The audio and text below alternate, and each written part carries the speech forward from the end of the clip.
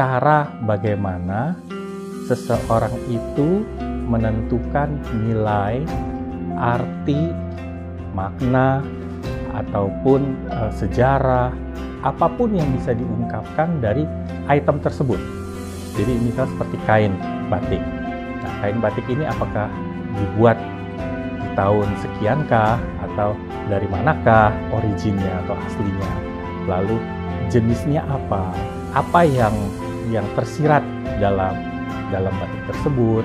Lalu makna dan arti juga untuk menentukan nilai dari kain tersebut atau benda tersebut. Nah, kurasi sendiri itu tidak hanya sebatas itu saja, tapi juga bagaimana cara kita menampilkan eh, kain atau misalnya benda-benda seni eh, dalam tatanan yang bisa dilihat cantik dan menarik karena itu adalah salah satu tugas dari seorang kurator.